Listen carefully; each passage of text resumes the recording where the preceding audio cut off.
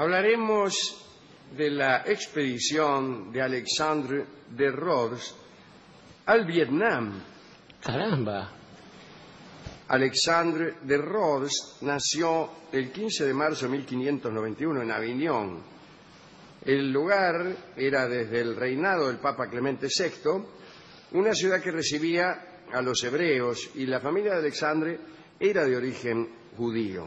Venían de Calatayud, de donde habían tenido que huir cuando un siglo antes se había decretado la expulsión de los hebreos en España. Durante algún tiempo la familia mantuvo sus creencias, las mantuvo desde luego en secreto, es decir, eran marranos, estigmas con los que se nombraba a los judíos que, a causa de las persecuciones, habían tenido que convertirse. Así, Alexandre entró en la orden de los jesuitas y después de sus estudios decidió, ahora voy, ¿eh? decidió marchar a Roma. Entre los jesuitas de Roma, Alexandre se alineó entre los llamados indipetae, es decir, los que viven a la espera de pasar a Indias. Rhodes que- quería misionar en el extremo oriente. Bueno, años más tarde le llegó esa posibilidad. En 1622 se embarcó desde Portugal hacia el Japón. Luego de un viaje terrible, Alexandre llegó a la isla. Había atravesado tempestades, hambre, peste, una porquería. Cuando puso un pie en las costas japonesas, este, Puso pronto el otro. Sí, eh, tuvo que volver a embarcar. Las férreas leyes de los shogun prohibían la entrada de extranjeros al país. Desesperado, el amigo Alexandre de Rhodes decidió desviarse un poco. Y así llegó al Dai Viet, el gran país, región que se llamará más tarde Vietnam, país del sur. Vietnam fue un reino eternamente invadido por hordas chinas. Ya en el año 111 a.C., el lugar se integró al imperio de la dinastía Han. Desde ese momento se reemplazó a la nobleza local por administradores chinos. La religión de Confucio se convirtió en la creencia nacional, la lengua china se introdujo como expresión oficial y literaria. Se adoptaron también los ideogramas chinos como la forma escrita para la lengua vietnamita hablada. Desde ese momento, las revueltas de las aristocracias locales fueron constantes. Allá por el año 939, las tropas vietnamitas derrotaron a los chinos y declararon un Estado independiente gobernado por distintas dinastías. La primera fue la dinastía Li. Hay que decir que se mantuvieron muchas de las instituciones chinas, entre las cuales figuraba el famoso sistema de examen del servicio civil para seleccionar a los funcionarios del gobierno. ¿no? La sociedad vietnamita era un reflejo de la sociedad china. Siglos más tarde, cuando el imperio mongol alcanzó el poder en, en China, los ejércitos de Kublai Khan atacaron Vietnam en un intento de volver a integrar a la región al imperio chino. Pero los mongoles no pudieron entrar y fueron derrotados. En 1428, Li Loi alcanzó el trono como primer emperador de la dinastía Le, luego de derrotar el último intento de los chinos de ocupar Vietnam. Cuando Alexandre de Rhodes llegó a Vietnam en el siglo XVII, había dos clanes aristocráticos que ejercían el poder. El país estaba dividido, fíjese, y en guerra.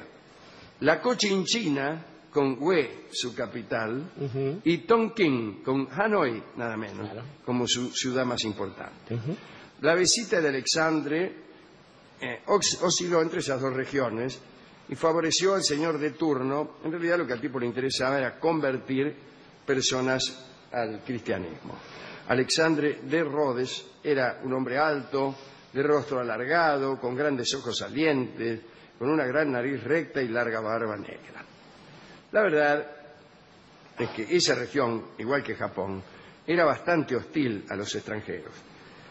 Pero también sabían que la única manera de hacerse fuerte frente al poderío chino era apoyándose en algunas potencias extranjeras. Así, Alexandre de Rhodes pudo desembarcar en la Cochinchina de la mano de comerciantes portugueses que compraban de todo en Oriente. Allí se encontró con lo que llamó una cultura frágil. Se hablaba una lengua derivada del chino que utilizaba caracteres simplificados que se llamaba nom. En todos lados se practicaba una religión que mezclaba elementos del confucianismo y del taoísmo con el budismo. Alexandre aseguró que pronto admitirían una inspiración venida de afuera, Claro, es decir, el claro. cristianismo. Algunos jesuitas ya habían intentado algo, como Gaspar de la Cruz, pero la ignorancia de la lengua impidió todo contacto. La mayoría de la gente contemplaba con miedo a los que no hablaban su idioma. Rhodes, en cambio, tuvo una asombrosa habilidad para hablar una lengua considerada incomunicable a los europeos. Cuando escuchó por primera vez hablar a los vietnamitas, Rhodes creyó oír a los pájaros. Le encantó aquel idioma. Seis meses después predicaba en la lengua de la cochinchina. En tres semanas, un muchacho del país, tan dotado que comprendía casi al instante todo lo que el misionero quería decir, le enseñó los diferentes tonos, las intensidades y los volúmenes de la pronunciación de aquel dialecto. Rhodes fue autor del primer glosario franco-vietnamita y de la primera gramática de esa lengua. En Cochinchina reinaba Sai Wong. Pronto Alexandre convirtió a la prima del rey, la llamó María Magdalena, no se sabe en qué la convirtió. La muchacha desplegó un proselitismo tan ardiente que suscitó re- reacciones, ¿no? Al rey no le importaba nada porque estaba preocupado por la prosperidad del reino y todo el tráfico de los portugueses bien valía algunas misas. Pero un día la flotilla de comerciantes portugueses siguió de largo y no paró en el reino de Sai Wong.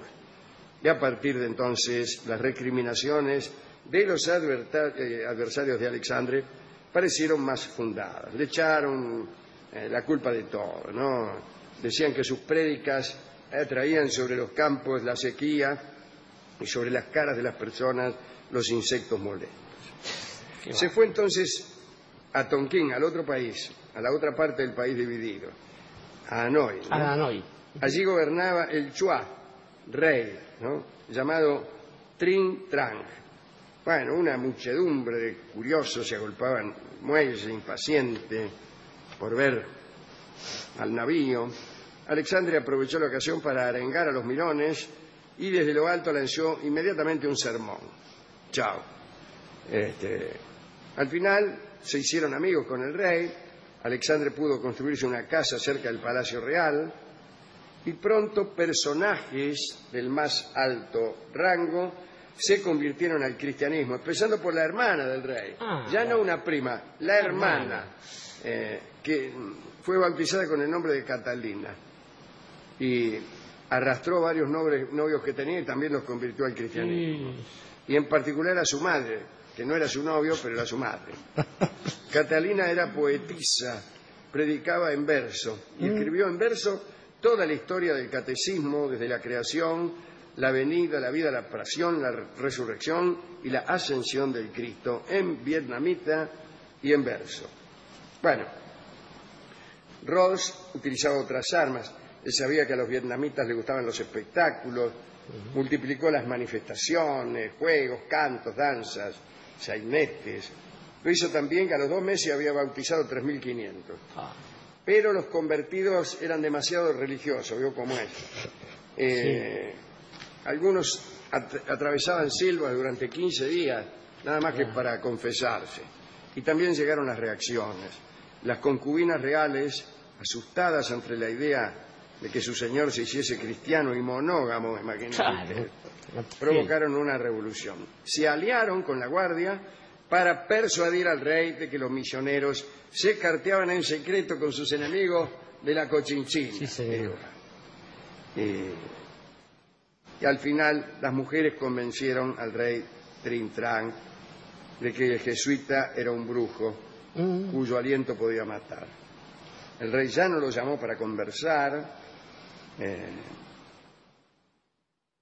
quedó en un gran descrédito este hombre, ni siquiera la predicción de un eclipse de luna sirvió, Sí. y al fin el rey promovió un edicto. Prohibimos bajo pena de muerte a nuestros súbditos que concurran al encuentro de bonzos extranjeros o que abracen la ley que predican. Ah, lo echaron, Sí. lo echaron. Lo echaron en una nave, pero era bravo, ¿eh? La misma nave que lo llevaba al exilio fue convertida por él, convirtió a todos los tripulantes. Eh, Oh, era, era convincente. Lo quiero en mi equipo. Bueno, eh, y se fue. Se fue y nunca más volvió a ver el Vietnam.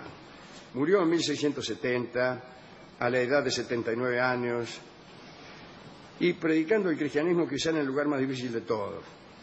Isfahan, Claro. una ciudad del Irán, do- durante mucho tiempo sede del domicilio del Shah Ujú, y capital del Estado. Claro. Ahí sí era difícil. Este era nuestro amigo Alexandre de Rhodes. Es una historia muy eh, impresionante, Alejandro, por varias cosas. En principio, hemos hablado muchas veces aquí de la compañía de Jesús y esta misión de ser Claro. los ojos y el cerebro de Dios sobre la tierra. De modo que ahí donde había un fenómeno raro, esto es desde Oriente hasta el marxismo o el psicoanálisis, siempre hay un jesuita.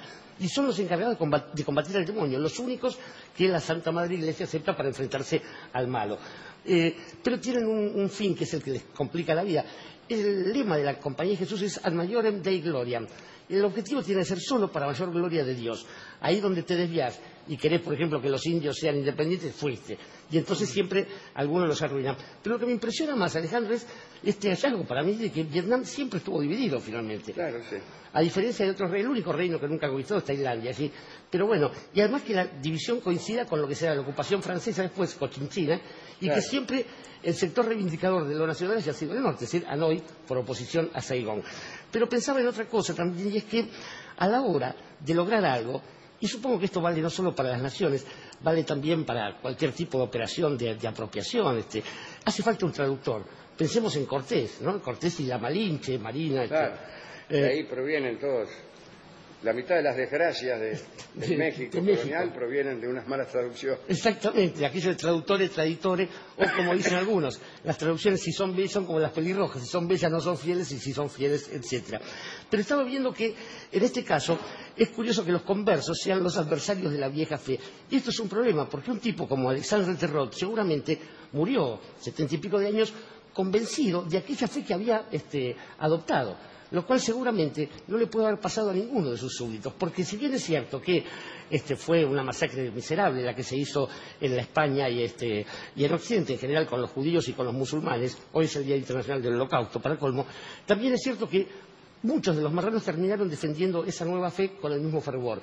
Me pregunto qué le habrá pasado a los conversos que de golpe se encontraron siendo delincuentes Claro, que no solo no podían creer en esa fe, sino ni siquiera este, poder manifestar públicamente alguna disidencia. Porque lo peor que a uno le puede pasar es desdecirse justamente y habiendo sido otra cosa toda la vida, terminar, como le pasó a algunos que no eran conversos, habiendo alardeado de tanto este, ateísmo, este tipo de cosas, que terminen justo en el momento culminante del cariño, ahí donde llega la de la guadaña, suplicando a la cruz. Y suplicando a la cruz se llama esta bella canción que escucharemos en la versión de Don Edmundo Rivero.